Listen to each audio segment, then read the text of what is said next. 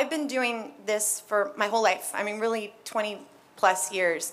And it's, it's heartwarming to me to be recognized for something that I feel is so a part of me. It's like my arm. It's always been me. It, there's nothing else I've ever known, and there's nothing else I've loved so much. So to be recognized for something that is me and that is just what I was born with means the world. I'm completely honored. I feel completely blessed and um, extremely touched. All my friends and family know that I never get nervous. You've never seen me nervous.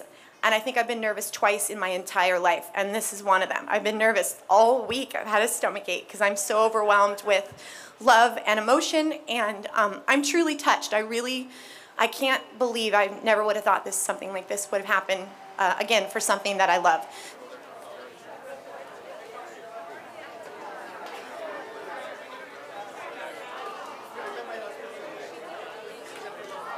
I first worked with Kaley when you were 14, and I wrote a filthy scene for her to do this Lolita thing, and God bless her, she didn't understand it.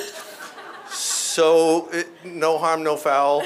Um, and uh, and then um, and then she breathed life into a character that that really made The Big Bang Theory uh, the remarkable the remarkable experience it's become. Um, and we've had eight really terrific years making a show we all love.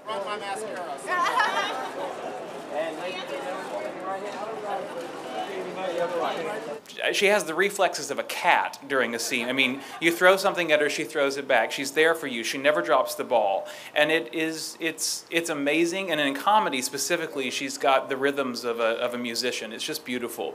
As an actress, she personifies making what we do look easy without ever an ounce of apathy. And she is a calming rock on our stage that a lot of us look to to ground us.